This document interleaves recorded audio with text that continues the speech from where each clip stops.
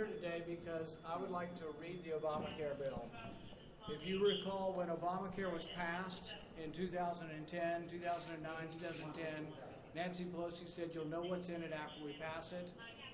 The Republican Party shouldn't act in the same way. We want to see the bill. We have many objections.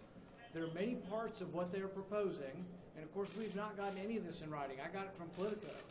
All right? I haven't gotten anything in writing from anyone. So we're here asking for a written copy of this because this should be an open and transparent process.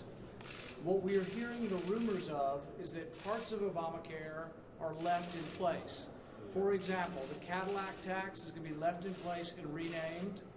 The individual mandate is going to be left in place.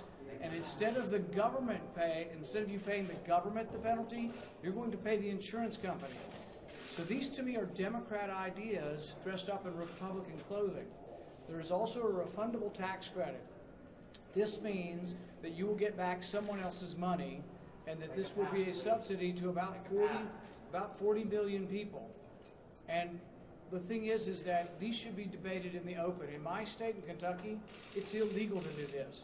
You can't have legislation locked behind closed doors in my state. Make a path.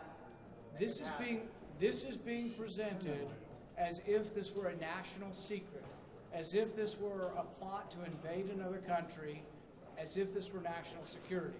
That's wrong. This should be done openly in the public, and conservatives who have objections, who don't want Obamacare light, should be allowed to see the bill.